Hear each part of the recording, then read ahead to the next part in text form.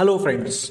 In today's class, we are going to talk about memory layout of a process. That is, when a process is in execution, what are the different partitions of memory?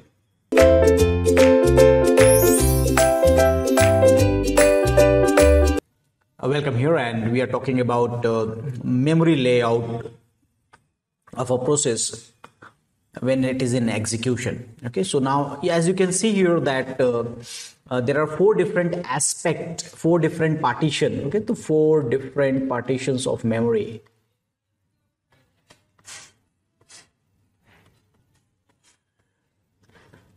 The text is is a place where a program code will be loaded.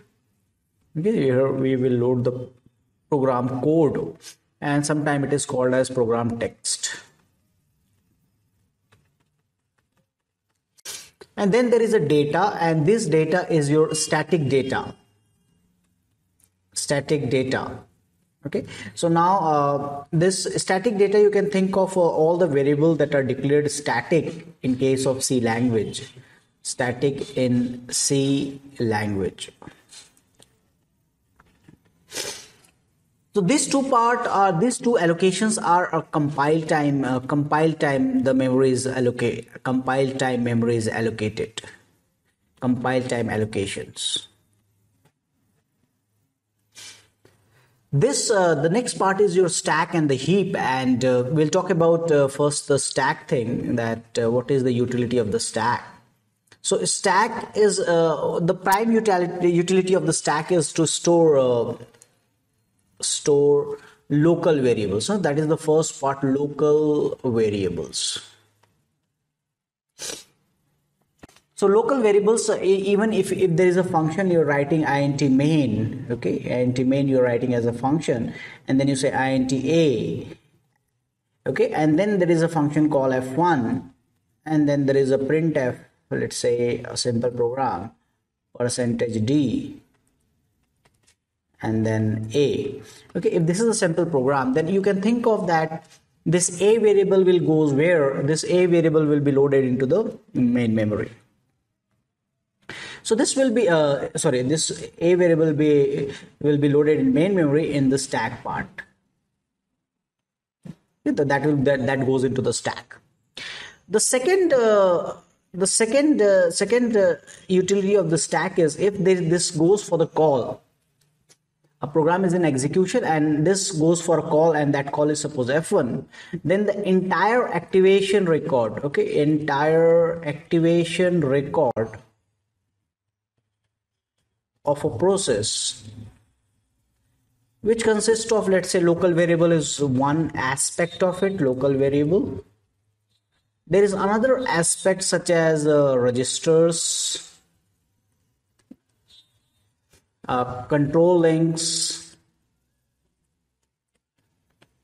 access links, all these things will be stored in a part that is stack. And now here I can show you that if this is your main activation, then main activation will be there. The moment uh, this will be called, F1 will be called, a new activation will start and there will be an activation of F1 so all the variables which are uh, okay.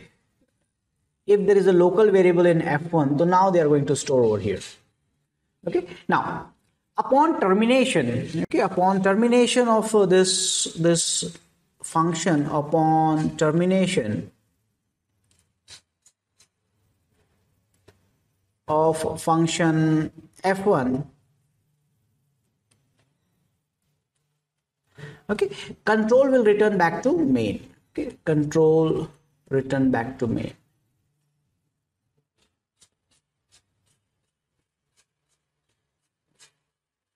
So your recursive calls and your nested procedure calls are implemented by using stack. The utility of the stack is to implement recursive calls and nested procedure calls.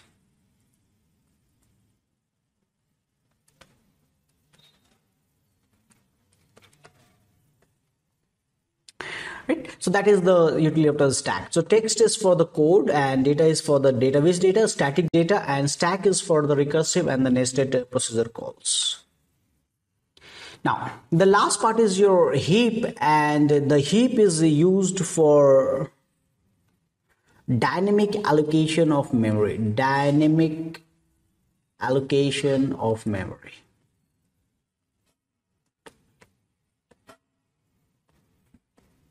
Okay, dynamic allocation means at the runtime memory will be allocated, and uh, uh, we have a very standard function for this. We have a malloc function and we have a calloc function in case of C language. And that is used to allocate the memory. Even all the data structures uh, data structure if you are implementing using C language then they are allocating the memory by using this function that is called malloc and calloc function. Okay. So now uh, the this this is a heap is the, is the area where dynamic allocation of the memory happens.